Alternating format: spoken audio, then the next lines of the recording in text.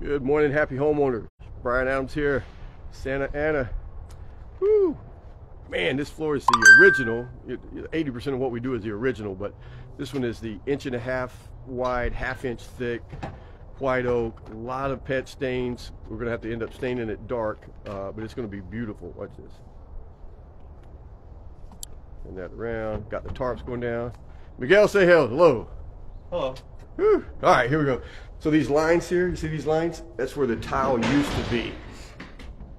Uh, in the entryway, they had tile. They, they've taken that up. Used to have the tile in the uh, kitchen area. You can see. Pete, say good morning. Morning. Good morning. Pete from the North Dakota. Well, many years ago. Many. So we got all these stains. Most of these have come out, but like Pete just showed me the back rooms.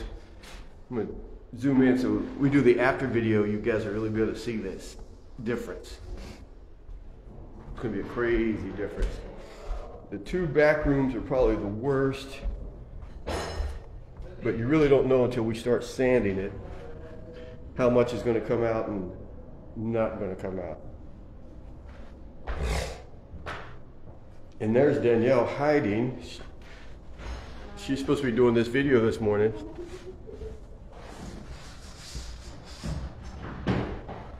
So that room wasn't that bad. Here, this one here, you can see this. So these stains, we're not sure what's gonna come out. Kind of excited to get the sander going just so we can see.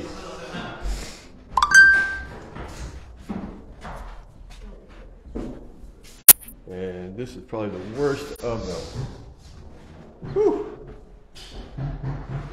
Yeah, that's the worst. But we'll be good. Marked in. All right, here we go.